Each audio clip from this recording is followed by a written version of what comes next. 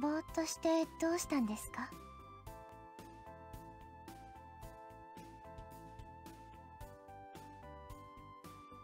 うん。ああちょっと昔のことを思い出してたんだ。昔のことですか？まあいろいろありましたね。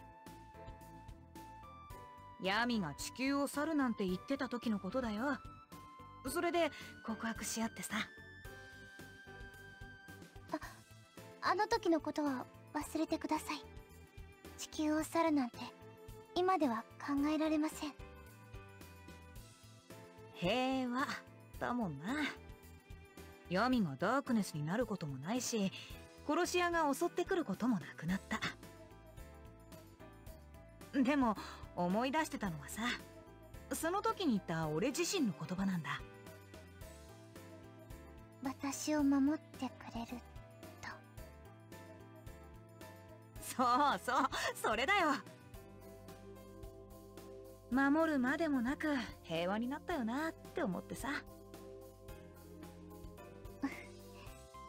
確かに殺し屋が来ないとちょっと退屈ですね。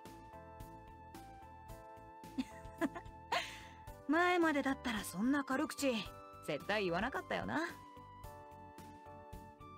それだけ心に余裕ができたということです。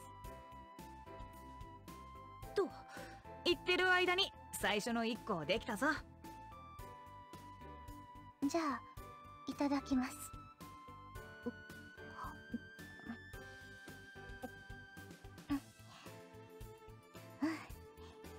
今日も美味しいです。よかった一日の最初の1個は闇専用だもんな。はい。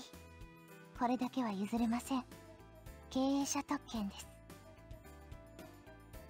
それに殺し屋が来ないからといって守ってもらっていないなどとは思いません。ちゃんと守ってもらっていますよ。私もこの店も。そっか。そう言ってもらえると嬉しいよ。よし。じゃあ今日も頑張ってたい焼き売るか。はい。バンバン売りましょう。なあ2個目も食べてるし。経営者特権です職権乱用だっての。たく。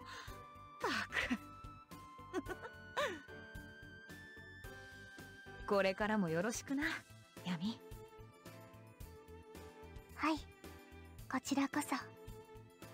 あなた。